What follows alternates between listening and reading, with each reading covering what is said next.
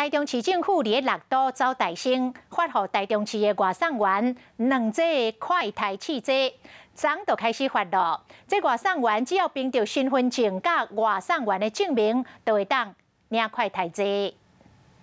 台中市政府针对七大类行业第一线人员办理送快台计划，其中外送服务人员都来伫民生服务类。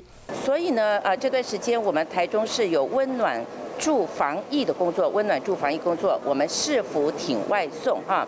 市长讲，最近外送产业真强，为了守护外送员的健康，要送予外送员一个人两剂快胎，除了会当保护家己和亲人，还会当保护人客，让大家拢安心。像昨天我就有遇到，对不对？